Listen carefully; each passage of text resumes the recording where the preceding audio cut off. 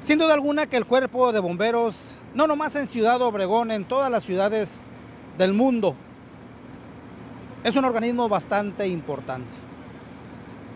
Haga frío, haga calor, esté lloviendo, en fin, la situación que se esté presentando en cualquier entidad, ellos están ahí presentes.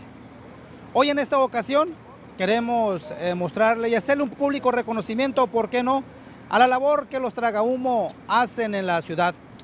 El ejemplo, hoy por la mañana, el incendio en el Hotel Llorín aquí en Ciudad Obregón, por ahí de las 7, 7.15 de la mañana, inmediatamente llegaron y fuimos testigos de ello porque veníamos prácticamente a la par por la calle Miguel Alemán.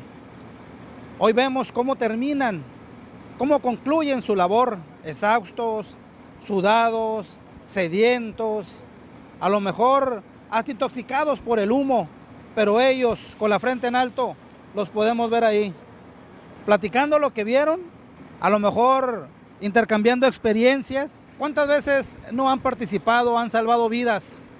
Sacándola de los lugares, de los edificios donde las llamas están en todo su apogeo y cuya labor se hace bastante, bastante difícil.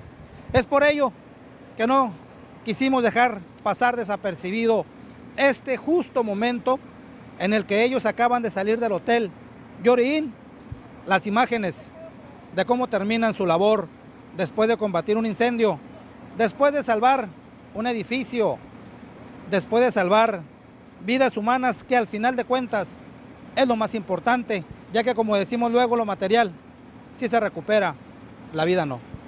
No, pues más que nada es una satisfacción, el sentir que lo que uno está haciendo pues se hace de una manera correcta, el ver que en el menor tiempo posible se logra controlar una situación, más que nada pues la labor de los compañeros que se sigue reconociendo. No, pues es, es inexplicable, la verdad. Es, es, algo que no se puede describir.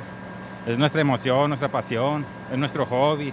Ahora nuestro trabajo también, pues es algo muy bueno que para todos nosotros en general. Con imágenes y edición de Manuel Bracamontes para las noticias, Marco Antonio Palma.